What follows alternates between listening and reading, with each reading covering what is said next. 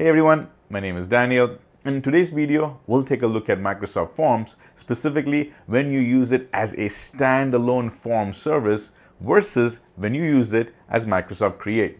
Because underneath the hood, they are both Microsoft Forms. However, depending on which service you use, I actually came across five differences, and it's important that you're aware of those as well. So let's take a look. But first, here's my intro video.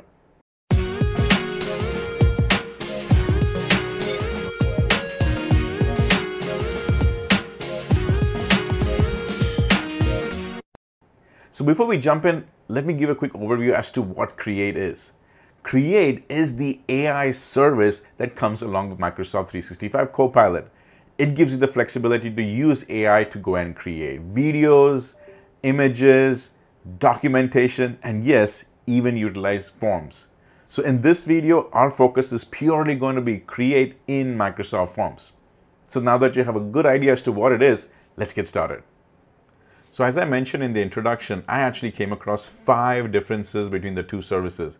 And the best way for me to do the comparison is me opening up actually two windows side by side, where one I can show with Microsoft Forms and then the other one I can show Create. So let's take a look at Microsoft first and specifically, how do you get to the landing page? And when I say landing page, the actual home page or the home screen of each of these services.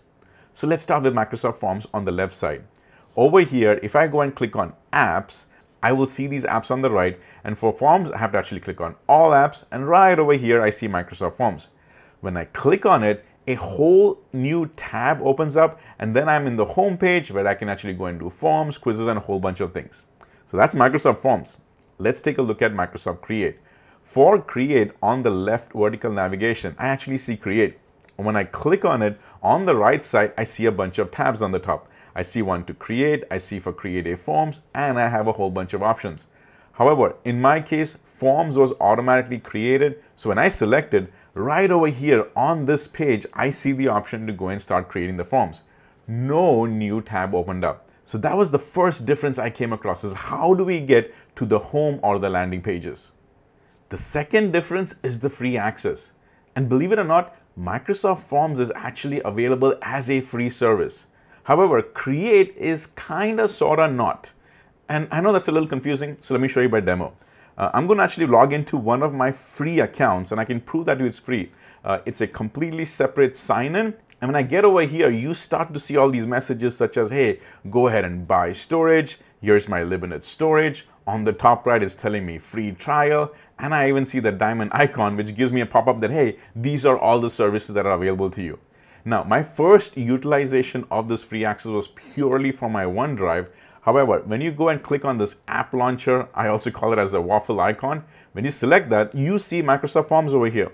When I go and click on it, another tab opens up. Again, this is the free service and I can go and create my new forms and also my new quiz. Now for the free services, there are some limitations. Like for example, you can only go ahead and have 400 of these forms or quizzes. Uh, keep in mind that if you have 50 of them already in your recycle bin, uh, then you can only go and make 350 more. There are limitations and if you're interested to learn about them, I've gone and put that link in the description below. Well, this is for Microsoft Forms. What about Create? And I said kind of sort of, let's take a look at this, right? We'll come back over here on the app launcher and if I go and click on more apps, this is what I see. Now we have something called design already. Like there is this designer, all right? But I do not see the create option. And I know what some of you are saying, hey Daniel, what is this pencil one that you see? This create is a lot different than that create that we see over here. You see that create completely different. This one is from the free access. And if I go and click on it, it only shows me this option. And just to even verify, say if I click on forms, it does open up another tab, but you see the URL and the design, that is it. This does not give you the full create experience that we see as a licensed user. So this was the second big feature because Mac so this was the second big feature I noticed. Microsoft Forms with a little limitation is still available for free cost. However, the Microsoft Create, which is part of the 365 Copilot, purely requires an additional license. Third difference is the ability to go ahead and create surveys and forms with Copilot. And let me show you that. Right on the right, which is create, over here, I actually see these options. And let me go and minimize this a little bit. You can see that I have eight different surveys and forms. And when I hover over it, it actually goes and gives me this prompt. This prompt is the one that I can go and use and manipulate that a little bit. Now, if I scroll down, I still see the templates over here on the create side. And those templates are only the options available on Microsoft Forms. Microsoft Forms does not have the same flexibility.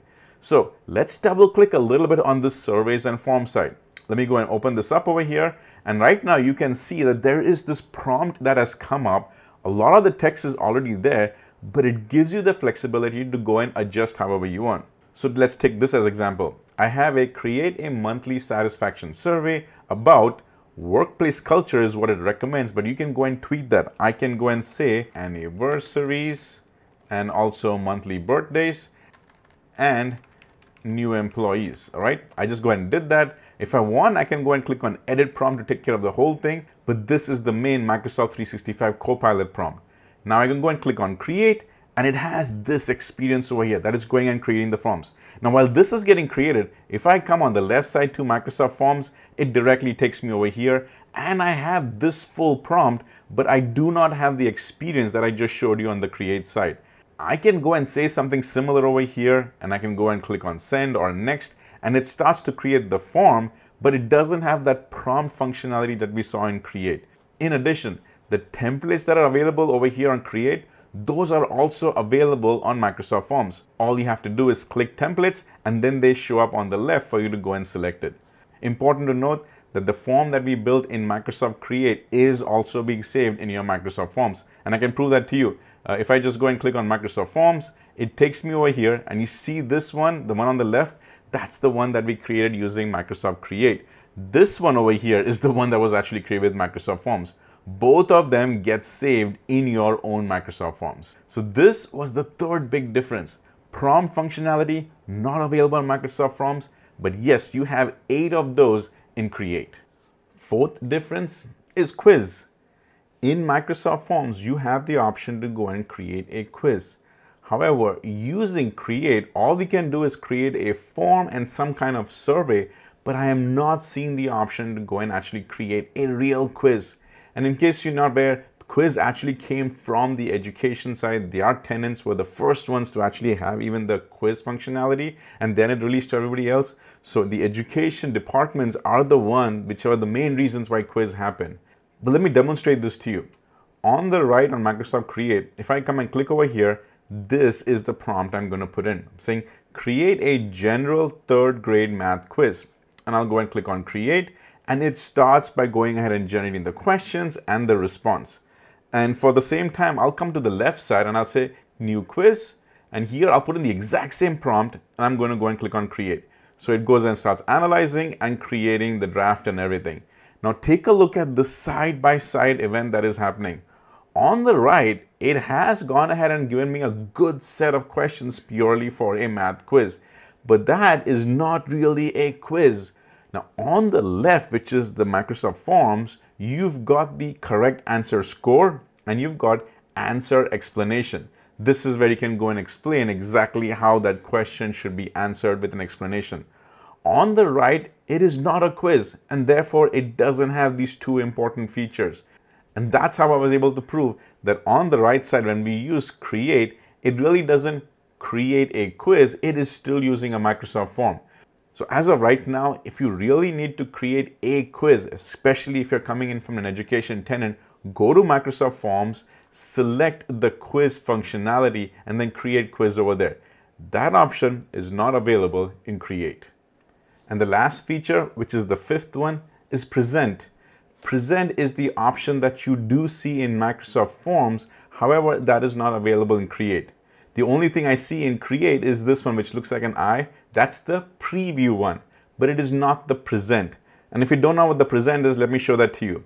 See over here on the left, this is the quiz that we created. And if I click on present, it gives me a real-time view of all the answers that are coming in what I can do is actually go and copy that link and I can even go and put that in my PowerPoint right over here. So real time, if I'm doing this as a presentation, I can see the answers come over here.